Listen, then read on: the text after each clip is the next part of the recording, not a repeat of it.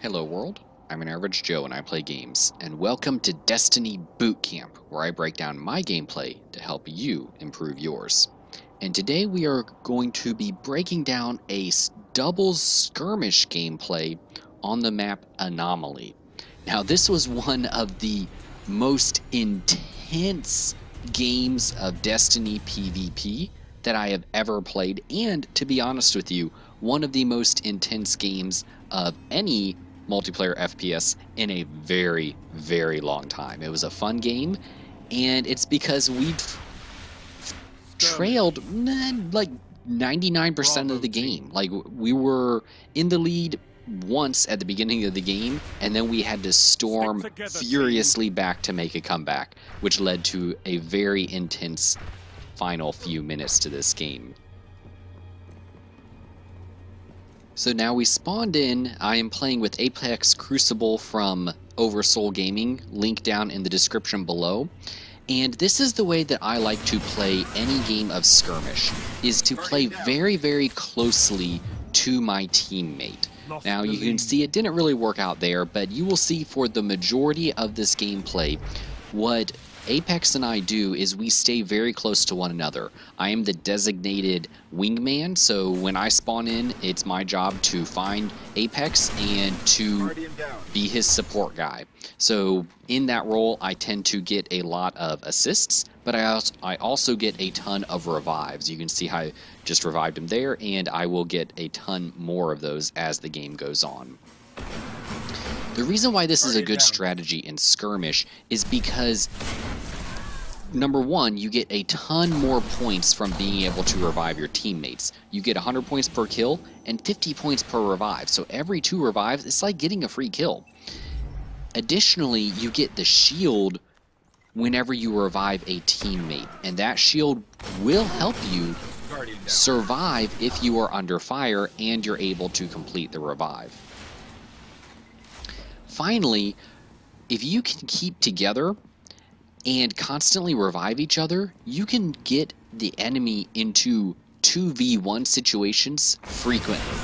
And when you do that, you're able to take out the enemy. Just like right there you saw, even though the enemy was able to take Crucible out in a 1v1, I was able to finish the kill.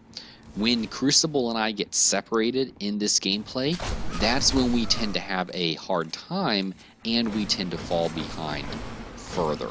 Guardian down. As far as class setup goes, the best exotic to run for your armor is the exotic that lets you revive faster. So for Titans and Hunters, that is Crest of Alpha Lupi. For Warlocks, that is the Light Beyond Nemesis. Now, I do not have Light Beyond Nemesis, so I'm not running that. The second best armor that you can run in 2v2 or 3v3 skirmish is the Void Fang Vestments because it gives you the grenade energy on respawn and when you get revived by one of your teammates that counts as a respawn for the Void Fang Vestments. I believe Hunters also have an armor with that ability. I think it's the Lucky Raspberry. That's the second best if you do not have the uh, the faster revives armor. Now with 2v2, it's interesting because the armor, uh, so Light Beyond Nemesis and Crest of Alpha Lupi, they allow you to revive faster and be revive faster. So coordinate with your teammate because you don't both need to wear that armor. Only one of you needs to wear the armor, and you both get the benefit of it. Now, if you watch up here, what our enemy is going to do is really take advantage of that armor. I believe one of them are running it because they can revive each other extremely quickly. And it lets you do some interesting things. So like, for example, right here, I'm going to take this guy out with my Axion Bolt. So he's dead, but watch how quickly his teammate revives him. So his teammate, instead of coming after me, he revives his teammate, and that gives him the armor for reviving your teammate, and his buddy has the armor as well. And because of that, they are able to outplay us. They, we trade a couple of kills, and there's a couple of revives that go around. But as you can see, they come up in that engagement because they were able to take advantage of their faster revives. That's a little pro tip to keep in mind if you are able to uh, wear that armor. As far as weapons, obviously I am running the Invective Shotgun.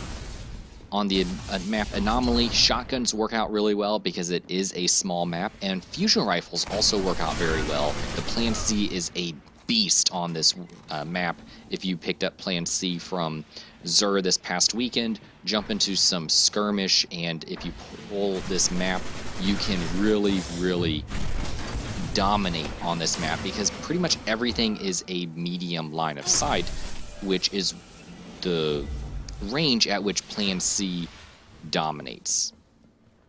And the other thing that I wanted to point out about my lo loadout is my auto rifle. So I'm running a For the People auto rifle that I grabbed out of an engram, and because of that it has different perks, and it has the third eye perk that keeps my radar active during the match.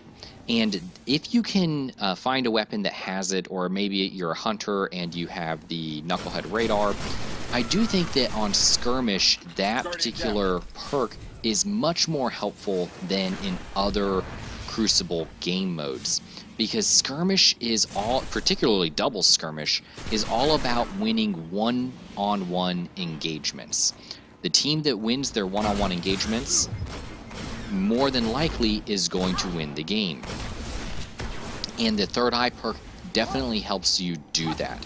Compared to, say, Control, where you just have you have 6v6 so you have 11 other players running around and it tends to be much crazier compared to skirmish particularly double skirmish where you only have the heavy ammo drop once per match and you see the heavy ammo is about to drop and you do not charge up your super very often compared to control. So because of that, the game modes tend to be much more focused on individual gunplay. So you're going to be using your primary and your special a lot more than you would in a typical control match. And because of that, having that radar active really is key.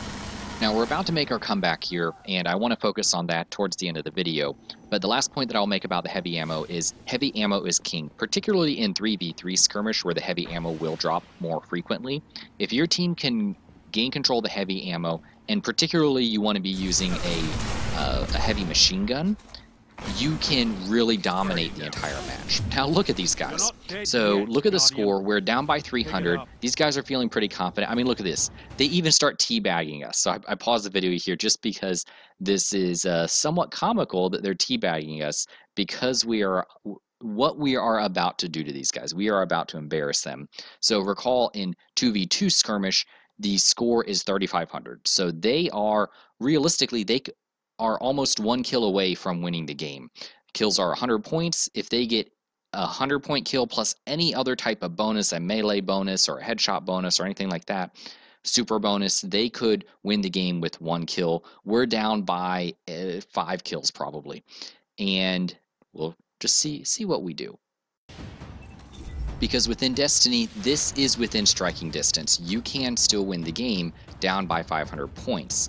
So what we want to do is we want to stay together and we see them coming on the radar. So what we're going to do is play extremely defensively. I try to pre-fire my Nova Bomb there and I fail horribly. So what I'm going to do is I'm going to let them come to us. I have the invective. I am going to have the advantage in close range combat. As you can see, I took down both of them, got the double kill. Now we are extremely close. At this point, Apex and I are talking back and forth. Apex wanted to change positions, and I'm saying, no, no, no, no, let's stay here. Make them come to us. So they actually screw up here. If I was them, make us come to you. If worst case scenario, they're ahead, they don't need to get a kill to win the game. They could just sit outside of this little area that we're camping and they would win the game. But you saw that guy, he ran in there, he tried to take us out, and I I went down, but Crucible finished him off with the revive, now it is literally sudden death. Literally, the next kill will end the game, and I almost screw it up, but Apex and I gang up on that guy, we take him down, we come back, we win the game. I'll tell you that those last couple of minutes of that match, I was sweating bullets, literally. My hands were sweaty. I had to put the controller down. I had to walk away from the game. It took about 15 minutes for the adrenaline to cool down because that was one of the most intense uh, endings to a game that I've ever had. But we won the game because we kept our cool and we didn't uh, abandon the strategy that we had all game. Sure, we got a little campy towards the end, but we were playing on our enemies' mistakes because they were rushing in there one at a time. Two times in a row, we had them on a 2v1 situation, which is the setup that we want. And we were able to win the game because of it. If they had not rushed in one at a time, if they had come in both of them, then they probably could have finished us both off and won the game because of it. Well, there you guys have it. That is the boot camp for our uh, doubles comeback. Leave a comment down in the comment section below. Subscribe, follow me on Twitter, do whatever you. Wow, I messed that up. You know what? Screw it. I'll leave that blooper in. All right, let's try that again. Do whatever it is you guys do, and uh, be sure to check out uh, Apex's channel down in the description below. All right, we'll see you in the next game.